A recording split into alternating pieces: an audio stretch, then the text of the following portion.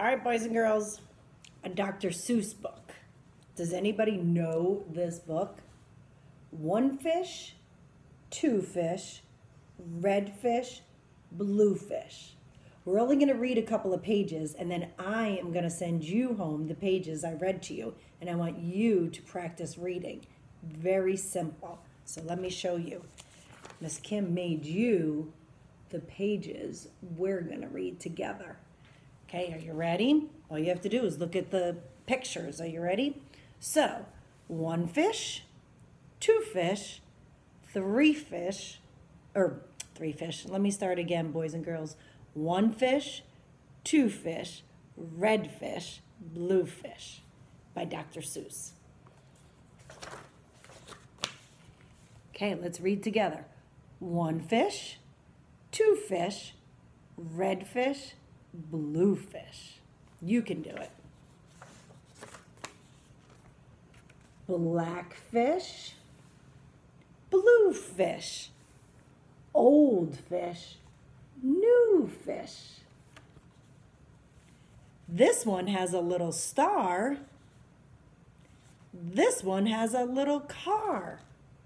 Say, what a lot of fish there are. Yes, some are red and some are blue, some are old and some are new, some are sad and some are glad, and some are very, very bad. Why are they sad and glad and bad? I don't know. Go ask your dad.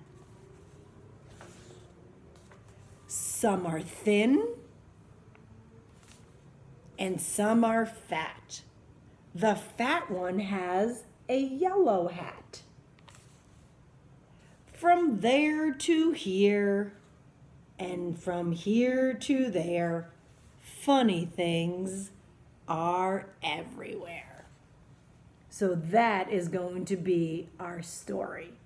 Very simple. One fish two fish, red fish, blue fish. We don't have to read the whole book, just a couple of pages.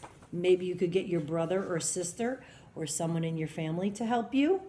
And all you have to do is look at the pictures.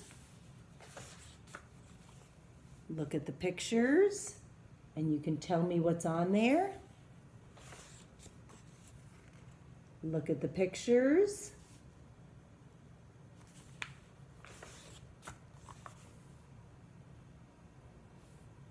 And you should be able to read it.